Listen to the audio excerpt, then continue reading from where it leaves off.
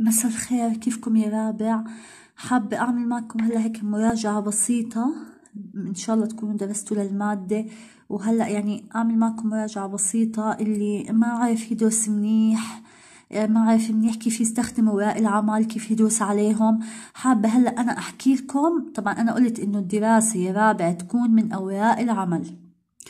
فيها كل إشي رح تكون شاملة لكل المادة وهي فيها تلخيص لكل إشي. أنا عملت لكم إياها حتى أسهل عليكم بدل ما تقعدوا تدرسوا من كتابين إنكم تدرسوا منها. تمام؟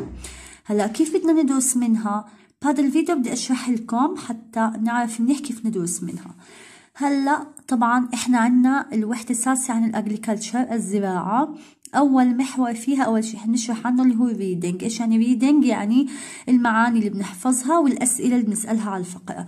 هاي المعاني اللي مطلوبة منكم تحفظوها. إنجليزي عربي. خلينا نراجعها مع بعض يا رابع. agriculture زراعة. herbs أعشاب. nuts مكسرات. turkey ديك رومي honey عسل wool صوف silk حرير thread خيط تاير عجل بيلت حزام. إذا هدول بنحفظ معناهم بالعربي لأنه أنا بجيب لكم مثلا عليهم كيف السؤال بيكون يا رابع.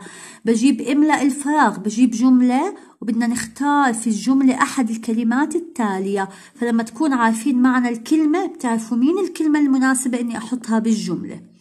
تاني شي هون يا رابع المعاني لازم تحفظوها. English English. خلينا نراجعهم مع بعض. Agriculture اللي هي farming الزراعة. Livestock اللي هي farm animals الدواجن اللي هي حيوانات بتتربى بالمزرعة. Cereals حبوب اللي هي grains used for food. Construction اللي هو building. برضو بدنا نعرفهم. هلا كيف بيجي السؤال يا رابع؟ إني أنا بسأل شو معنى كلمة agriculture وبحط لكم هدول الخيارات. بدكم تعرفوا إنه farming هي معنى agriculture. أوكي.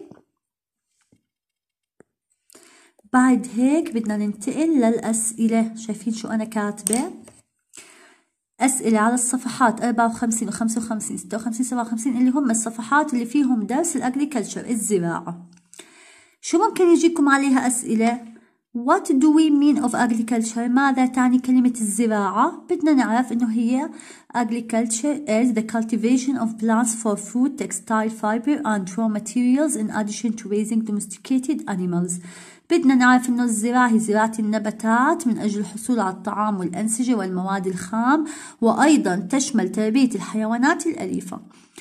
فأنا يا رابع بجيب هذا السؤال وبجيب عليه عدة خيارات بدنا نعرف إنه هذا الخيار هو الإجابة الصحيحة. okay؟ نشوف ال question اللي بعده. شو هو؟ sorry لازم ننزل لتحت. okay. What do farmers plant for feeding people? ماذا يزرع المزارعون لإطعام الناس؟ الجواب طبعا هذا بيجيكم الكويشن السؤال. هلأ بيكون عندكم عدة خيارات للإجابة بدكم تختاروا إلها هاي طبعا الإجابة. شو بيزرعوا؟ بيزرعوا cereals vegetables fruits oil crops herbs and nuts. بيزرعوا حبوب خضار فواكه محاصيل الزيت الأعشاب المكسرات. نشوف ال next question. What do farmers raise for feeding people؟ طب ماذا يربي المزارعون لإطعام الناس؟ وبدي إياكم يا رابع تنتبهوا بين هذا السؤال وهذا السؤال ما بدي تخطئوا فيهم هنا أنا سألت What do farmers plant؟ plant يعني plant يعني شو بيزرعوا for feeding بالإطعام الناس. شو بيزرعوا؟ plant. okay لازم نعرف إنهم بيزرعوا هاي الأشياء. هون أنا شو سألت؟ what do farmers raise? raise. شو يعني raise يا رابع؟ يعني بيربوا. بدنا ننتبه لأنه السؤالين كتير بيشبهوا بعض فيا رابع بدنا نركز إنه هذا السؤال فيه plant يعني شو بيزرعوا؟ طبعا بيزرعوا هاي الأشياء. هذا السؤال فيه raise يعني شو بربوا طبعا هم بربوا cows, sheep, goats, camels, chickens, turkeys, ducks and bees.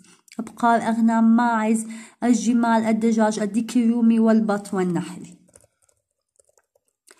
The next question Give examples on fibers of textile that produced by agriculture. شو معنى هذا السؤال؟ بدنا نعطي أمثلة على ألياف النسيج التي يتم إنتاجها عن طريق الزراعة. يعني بشكل أوضح يا رابع شو الأنسجة بنحصل عليها من الزراعة؟ طبعا هم wool cotton hemp silk and flax صوف والقطن والنسيج الخشن والحرير والكتان إيش هدول؟ بدنا نعرف إذا سألت هذا السؤال إيش ال textile النسيج اللي بنحصل عليه؟ بدنا نعرف إنه هاي هي ال answer الإجابة. Give examples on uses of lumber. أعطي أمثلة استخدامات ال lumber اللي هو الخشب. أعطي أمثلة استخدامات الخشب اللي هي طبعا in construction and paper في البناء والورق. okay؟ now بدنا ننتقل لل grammar شوفوا خلصنا من ال reading ال reading يعني معاني وأسئلة. هلا انتقلنا لل grammar اللي هو القواعد. okay.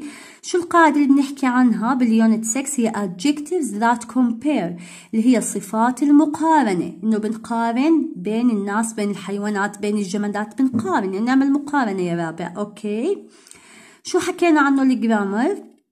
حكينا إنه عشان أقارن بين الأشياء بستخدم ER is added to the adjective to compare two things. إذا بدي أقارن يا رابع بين إشيين two things بستخدم ER يعني بحكي taller شوفوا بضيف ER quieter ضفت ER larger louder. أما يا رابع بدي استخدم EST إذا بدي أقارن بين more than two things يعني بدي أقارن بين أكتر من إشيين. أوكي؟ فمثلا بحكي tallest أضفت est quietest أضفت est largest أضفت est إذا عرفنا يا رابع كيف بقارن بين الأشياء. إذا أنا جبت لكم سؤال مبين إنه بالجملة أنا بقارن بين two things بين إشيين رح أضيف للكلمة er بختار الكلمة اللي عليها er أوكي يا رابع؟ إذا الجملة فيها مقارنة بين إشيين بختار الإجابة اللي عليها ER أما إذا الجملة فيها مقارنة بين أكتر من إشي يعني أنا بقارن إشي بباقي الأشياء. مثلا بحكي إنه هاي الأكلة أذكى أكلة من كل الأكلات أو بحكي إنه هذا الطالب أذكى واحد بكل صفه أو هذا الحيوان أكثر افتراسا من كل الحيوانات. يعني بقارن واحد بين مجموعة. okay؟ هون بس بختار الإجابة اللي عليها تي okay يا رابع فهمنا كيف؟ هلأ بدي أعطيكم بعض الملاحظات تنتبهوا لها. okay. اللي هي إنه if the adjective ends with consonant and y y is changed to i and then add er or est بدنا ننتبه. يا رابع إنه إذا كانت الكلمة بتنتهي ب consonant and y كانت الكلمة بتنتهي بحرف عادي وجنبه y لازم قبل ما أضيف ال er أو ال est أحول ال y إلى i شوفوا كلمة happy تنتهي ب P اللي هو حرف عادي و Y فحولنا ال Y ل I بعدين أضفنا ER هون حولنا ال Y ل I بعدين أضفنا EST كلمة busy كمان تنتهي بحرف ال S اللي هو حرف عالي عادي sorry عادي يعني مش حرف علة وبعديها Y فحولنا ال Y إلى I وأضفنا ER. كمان هون حولنا ال Y ل I وأضفنا EST. فبدي ان ننتبه دائما كلمة اللي بتنتهي بحرف عادي و Y بختار الإجابة اللي فيها ال Y تحولت ل I okay؟ هلا الملاحظة الثانية كمان يا بدي تنتبهوا لها. If the adjective ends with one vowel and one consonant the consonant is doubled. يعني إذا كانت الكلمة بتنتهي بحرف علة وبعده حرف عادي لازم أك يعني أعيد الحرف العادي مرتين. شوفوا كلمة big تنتهي بحرف علة وجنبه حرف عادي.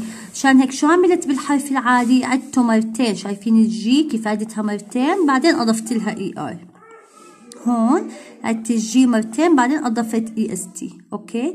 كلمة hot كمان شوفوا كيف تنتهي بحرف علة هون وجنبه حرف عادي. فالحرف العادي كررته مرتين. حطيت double T وبعدين ER وهون حطيت ال T مرتين وبعديها EST إذا ننتبه لهاي الملاحظة ولهاي الملاحظة. بعدين بدي إياكم please study page 54 and 55 in your activity book. بدي إياكم تفتحوا على الصفحات 54 و 55 في كتاب الأنشطة وتحلوا الأسئلة اللي فيهم. okay؟ هاي الصفحة الوحيدة اللي بدي إياكم ترجعوا لها من الكتاب اللي هي 54 و 55 من كتاب الأنشطة. وتحلوا فيها الجمل اللي على القواعد هاي okay؟ عشان تثبت عندكم المعلومة. now إيش بيجي عندي بعد ال grammar؟ ال spelling اللي هي قاعدة ال spelling حكينا عنها. قاعدة ال spelling اللي هي كانت عن ال silent letters P and B حكينا إنه في بعض الكلمات بيكون ال P silent أو ال B silent هاي بس بدنا نتعرف على هاي الكلمات. يعني أنا بجيب لكم بحكي لكم مين من الكلمات التالية. بيكون فيها ال P أو ال B silent بحط كلمة من هدول وبجيب كلمات من برا. بدكم تعرفوا إنه هاي الكلمة هي اللي فيها silent lamb thumb comb tomb climb dumb doubt plumber debt cupboard psychology. okay بدنا نعرف إنه ما بنلفظه. شايفين؟ lamb thumb comb tomb climb dumb doubt. Plumber plumber. شوفوا plumber. Debt cupboard. Psychology. ما بنلفظ فيها حرف ال P أو ال B بيكون silent هدول بس بدنا نحفظهم. إنه لو جبت واحدة فيهم بالامتحان نعرف إنه هذا الحرف فيها ال P أو ال B silent okay بعد هيك عنا ال writing ال writing ما رح يجي منها بكرة. آه بس بشكل عام بدكم يعني تدرسوها انه تعرفوا كيف ال writing آه كيف بن... كيف نكتب فقرة كيف بنحط ال title العنوان كيف بنحط ال capital letters شايفين حطاهم أنا بالغامق. كيف نستخدم ال comma الفاصلة وال full stop بالنقطة. يعني تتعرفوا طريقة الكتابة لأنه أنا في الامتحان النهائي رح أطلب منكم رح يكون جزء من العلامة قبل الامتحان إنكم تعملوا لي موضوع writing فبس بدكم تتدربوا عليه لكن بامتحان بكرة ال writing ما رح يجي منه اشي okay؟